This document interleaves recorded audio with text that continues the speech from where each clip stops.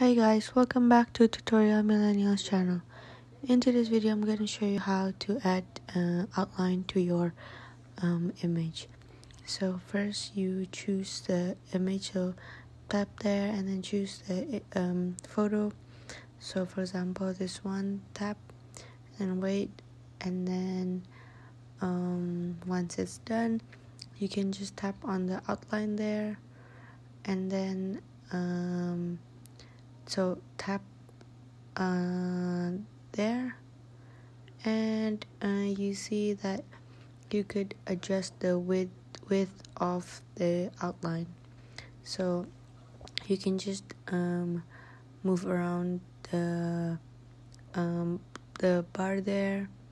Um, so this is I think this is too small so I want to make it a little bit wider.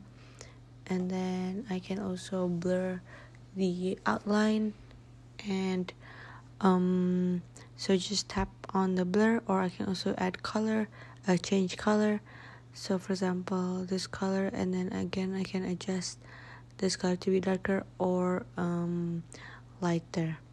And um, once uh, you're done you can just tap on the um, code there and then tap confirm and then you, that's it. You can just go back and uh, uh, continue editing. So i hope this video is useful and thank you for watching